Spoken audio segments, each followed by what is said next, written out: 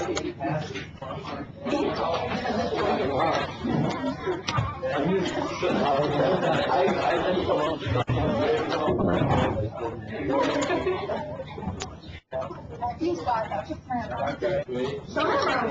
That was mine, that was mine. Soda and Yeah. the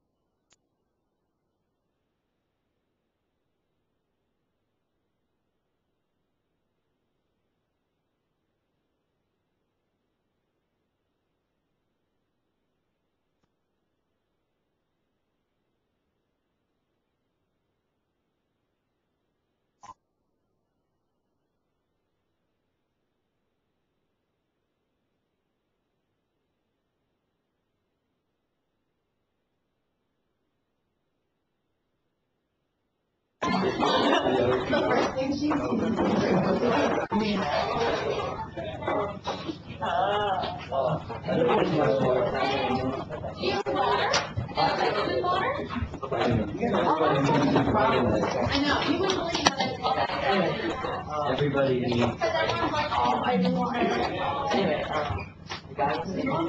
everyone's like, I just want Anyway, you guys. A for coming in though. We didn't go candy, we didn't go to school, candy, candy, but we all.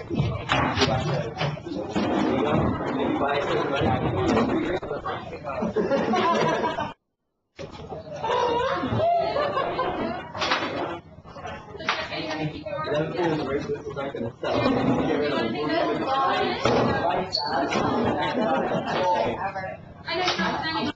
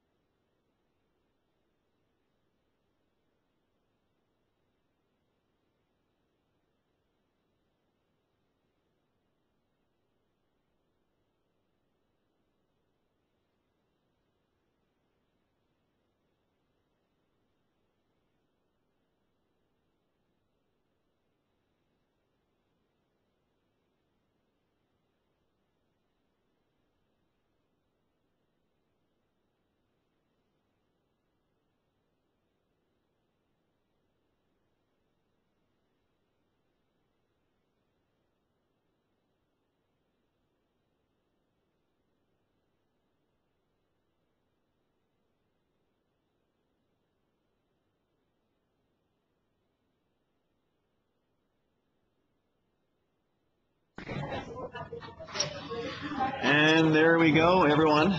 We have our entrepreneurship class just uh, leaving. The earpad pods aren't too bad. I was hoping to have my uh, headphones, but I kind of got uh, caught out in the uptown here, so this is the uh, best I can do. So hopefully the uh, volume's okay, and there isn't uh, too much of a tinny background. So, uh, if all's good, I'm going to proceed, and uh, don't be afraid to ask any questions during the time. Uh, Mark Bates is also done. He'll help uh, get us set up. I can switch in between. Uh, going on the Lync uh, dialogue and the smart presentation. Anyways, uh, if you're wondering if you have Smart Notebook 11 or Smart Notebook uh, 10, all you'd have to do is look at your desktop and you see it uh, as such, the Smart Notebook 11 or 10. If you uh, have 10, all you'd have to do is go into the uh, Smart Notebook and go into Help. And I'm not sure if it'll let me uh, do it here, but in Help there is an automatic update option and it's not letting me do it, but take my word for it that if you want the upgrade, all you have to do is select upgrade, and if you have local admin control, you can do the upgrade yourself. So with the uh, the uh, Notebook 11, the newest feature, of course, is the uh, enhanced ribbon, is, is what I'll call it. Uh, and from the ribbon itself, it, you're allowed to do all kinds of customizing as well. And the way to customize is to select the uh, gear in the top right-hand corner, and you have the uh, customize toolbar option. And all you do from here is just go through and uh, select what you want and pull it up to the uh, toolbar. And some of the uh, newer uh, features of the Smart Notebook 11 is an enhanced video smart video player and you can have videos saved on your computer and have them embedded in your smart lesson plans. And I have that on my ribbon already. Uh, smart recorder, which reminds me I was going to record this session here. See if I can do that right now. Uh, hold on. Would Kelsey Morrison please stop by? Page recording, start recording. So right now, as you can see, I'm beginning the recording sequence. So I'm recording the uh, presentation here, even though Mark Bates is recording it and Lync as well. But if any of you ever wanted to uh, record a lesson after school and provide that to your supply the next day, that is a uh, fantastic feature that uh, you could do. Okay, so uh, click done when you're done there. And what I did for my basic math smart controls, I just added the, added the measuring tools in the upper toolbar. And if you are a high school math teacher, you'll you should be able to get the uh, math buttons as well. And those are shown right in this area here. Uh, so I'm just going to proceed. I'll just check questions quickly. Okay, is 11 working well? Yes, 11 is working well. All right, perfect.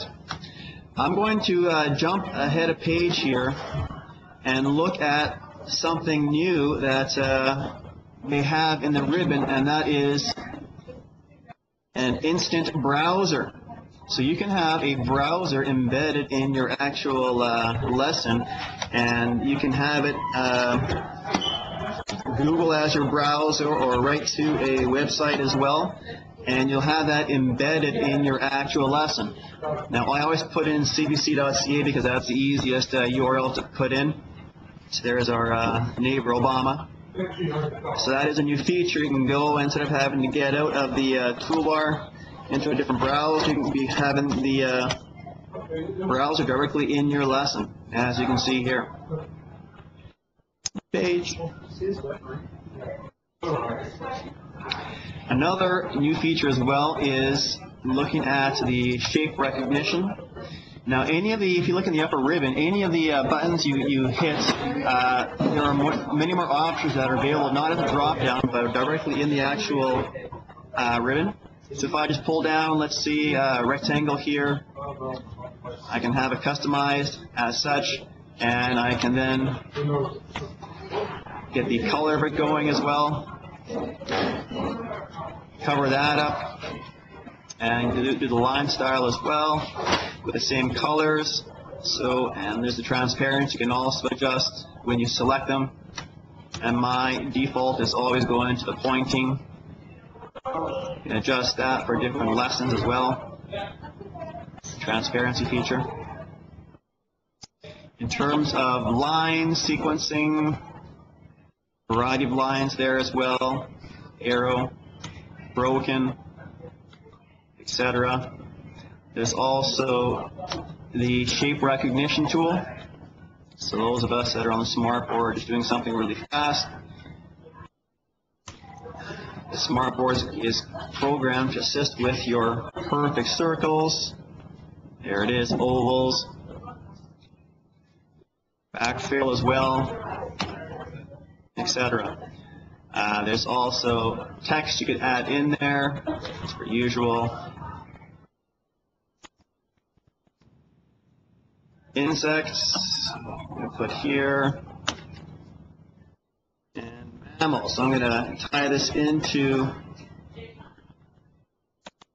the puzzle maker activity.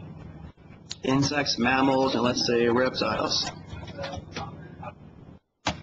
So the puzzle making tool is right here, Activity Builder, and this is where it's kind of cool. I've uh, used this uh, showing elementary teachers, but I'll just do the same thing. This can be used with uh, doing the multiples and factors as well, even numbers, odd numbers. So if I want to select an object here, oh, there we go. Hold on. This X out.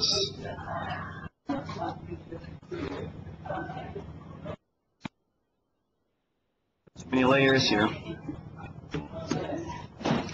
Try a new page here. Oh, there we go. Puzzle maker. So if I go into picture and type in uh, insects, I'm just going to pull up the pictures here of insects, ants, butterfly, and I'll do mammals as well. Would Kelsey Morrison please stop by the office, Kelsey Morrison? And all it is, is students can go and classify and organize, and you set up a rule within these actual categories, and it either accepts or rejects them, and you can have an activity that's, uh, or an action that relates to it being rejected. Okay, and we've, uh, let's do a snake as well. Okay, so when I go into the puzzle, accept these objects here. So, insects, I'm going to have my butterfly accepted. I'm going to drag it there. Nope.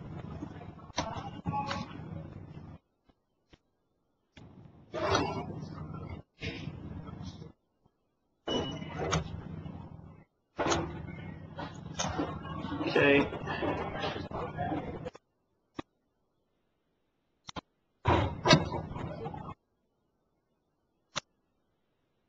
Go.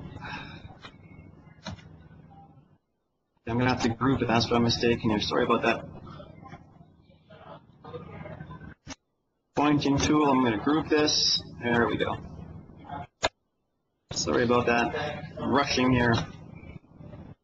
Okay, so that's now grouped, I can now uh, do my selection, edits, and this is where I select the actual insects in, sorry about that.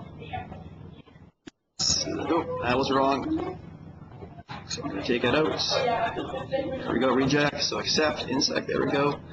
Butterfly, yes. Uh, ant, yes. And the nose are going to be everyone else.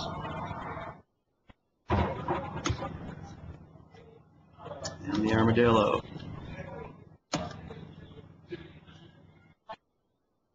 Done. Edits, mammals, we're going to have this accept. Mammal here, mammal there, and reject everything else. Now I tried through, through categories, but it seems that it doesn't uh, accept that, which is fine. always trying different things. So down there, there's also action you can do. Set it all up as such. Okay, so let's try it out, see if it works. Insects. There it goes away. Alligator insects. No, it gets rejected. Butterfly mammal. Set that up properly. Insects. Yes. Rejected. So that's the essence of the uh, puzzle maker there. It's kind of neat. Uh, so next up I'm going to look at is the uh, smart response very quickly. So this is a smart response button, and if you have your uh, icon on the bottom, it's mine, Senteo's not there. So this button here is called the Santio button, and if you wanted to uh, get a question going, you can uh, do a title page or else just do a quick instant question. So you can insert a question automatically, yes or no, and like insert it in this page.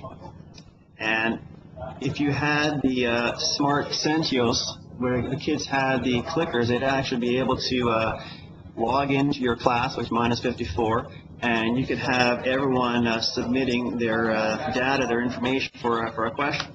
So if I click Start Class, it would go and get all the information going. And uh, there it is on the bottom. So it's really uh, a, a lesson plan that allows you to get uh, students engaged and uh, working at uh, their own own pace for, for questions, getting all those uh, answers in. Just gonna look at the questions, are any questions. Just moving along. Any questions? Okay, nothing yet. Okay, next up we have a variety of activities as well. And uh, I'm not sure how many people are aware of the multitude of activities. Uh, if you go into, let's say, English language arts, uh, interactive multimedia, there are all kinds of different these pictures there, and all you do is click and drag something over. Uh, the, the dice is has a volume attached to it as well. So if you just click it, you have the A, E, I, O, U, the vowels. And just going back the chart here, something new for Smart Notebook 11.2 is going on the animals, and you can uh, go on sound, and you can customize the sound. So this has definite applications to having uh, a second language taught, so whether it be uh, French or Spanish or whatever else you may be uh, teaching in your school. Uh, but if you click uh, Start Recording, like this is, and I start recording, uh, five seconds in, this is an alligator, stop recording, and if you want to have it connected to the objects, attach recording, so next time you click the animal, you have the icon there such, there it is.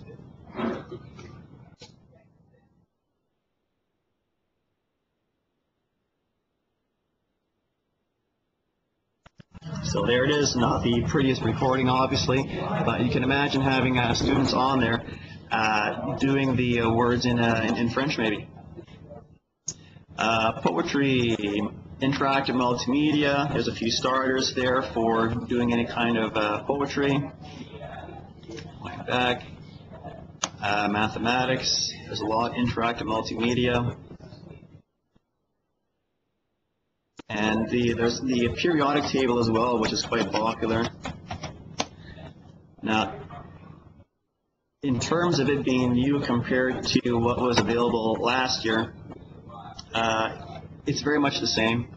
And what's nice about it is that uh, there's there's a game here. We can have kids uh, uh, basically try to find the metals that are up as the dialogue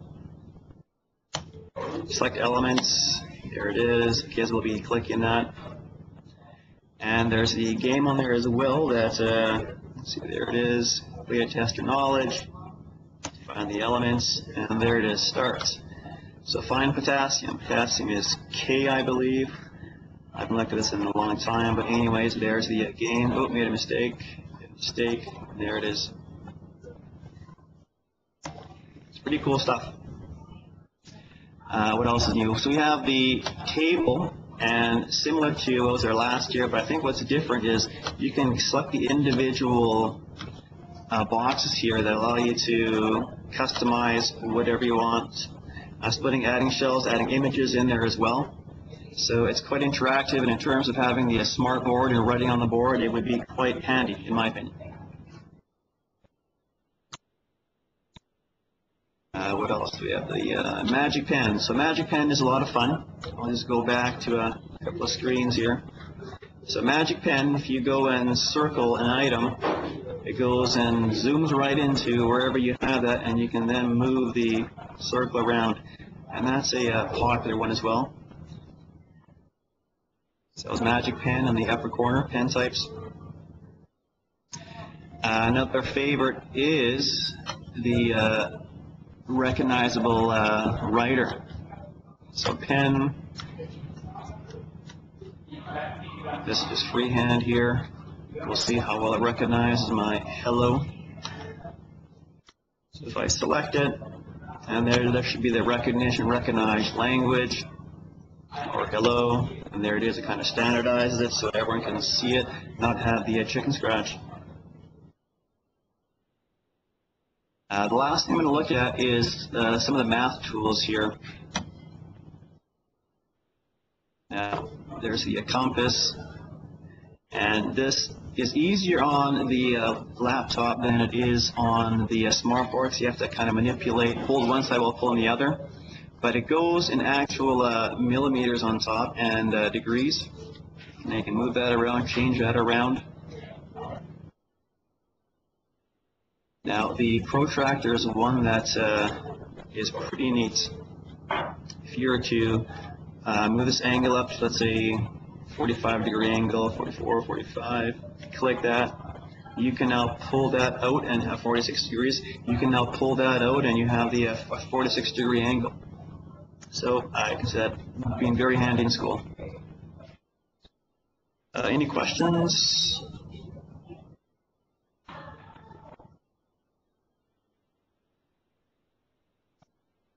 Let's Table for maybe 10 frames for primary math. Yeah, that's one to work, and that's a great question, Joanne. Counters, I uh, was looking at the interactive uh, options here. And uh, let's see, interact multimedia.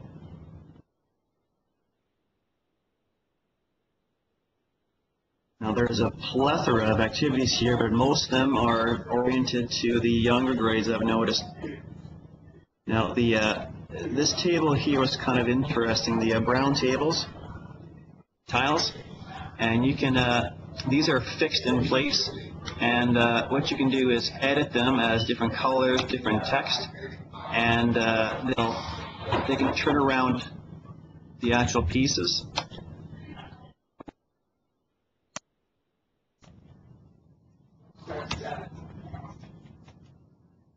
And those are fixed in place. So in terms of counting, uh, getting objects in there too to kind of line everything, getting some uh, more description going, it's an option to kind of look at that in that uh, context. But the chart is one that I would certainly uh, look at um, to improve. I can't figure it out better right now. But in terms of counters, Smart is all about the ability to click an object and manipulate it from there. So the whole infinite cloner of just kind of doing this, throwing different uh, counters around if, if this was a fixed image, and uh, locking them in place as well if you had to. So they should definitely be able to be uh, moved around uh, if they're not locked in place. So I'd maybe look at that.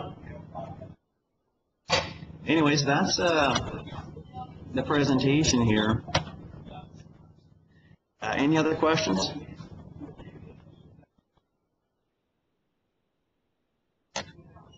And Joanne will definitely look back, look up the uh, 10 frames and get back to you. Get your name down.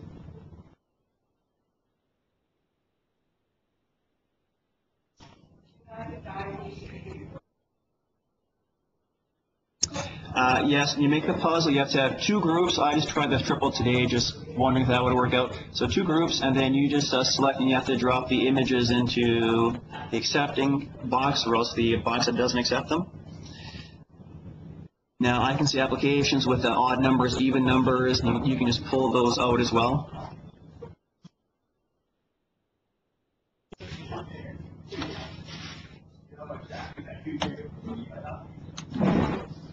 That. Uh, so if we go back to the puzzle maker, mammals, edits. So mammals, they're accepting these ones and they're rejecting these ones. And uh, settings, you can have them fade out, bounce back. Those are the activities that, the actions they, they can do. This is please contact the office. This is Crandall, please contact the office. A lot of action here, St. Malachy's. okay, done. And uh, the insects, there we go.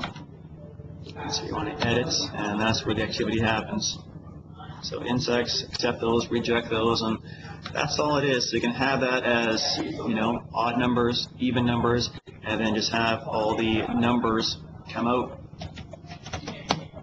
Drop them in, pictures, numbers. There's a one, there's a three, four, two, and with all these twos, going back to the sound as well, you can attach a sound, attach a link, saying one.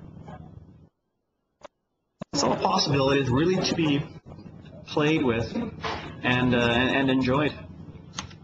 No fear about uh, uh, trying new things.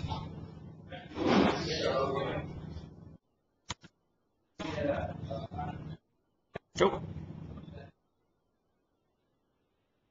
Oh, there's a Mark Bates quick plug for Twitter. Our uh, good district, ASDS, is now live. So if you want to go, if you're on Twitter, you can check it out at the link that uh, Mark Bates just uh, threw out there.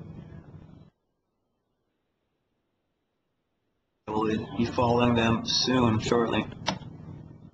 So butterfly, let's try activity. Done. Select okay, butterfly, insects, goes away. Now, if I want to reset uh, hide, I cl click reset and it goes back. Kind of goes back to where it uh, should go. Mammals gone, armadillo gone, ants rejected, snake. Snake was left out. You know, to reset the activity, just click reset and it all goes back to normal. And you can move those how you want to. It kind of stays uh, where at the point where you left the page.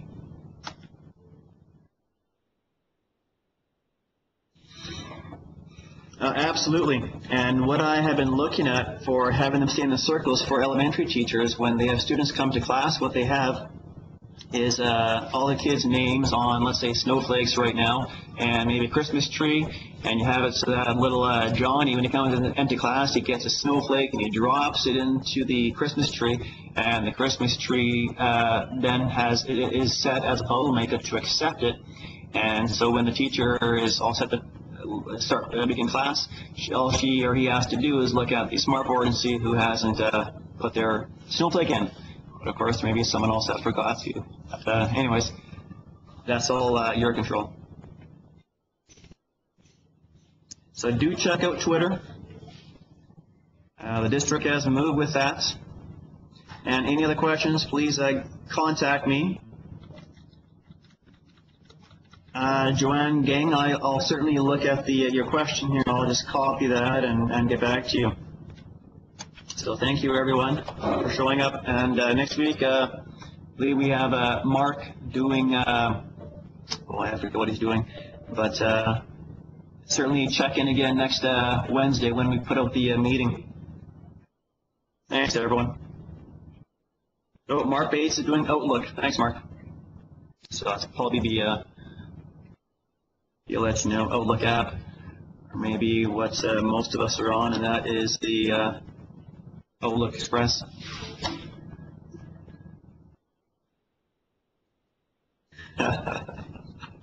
nice.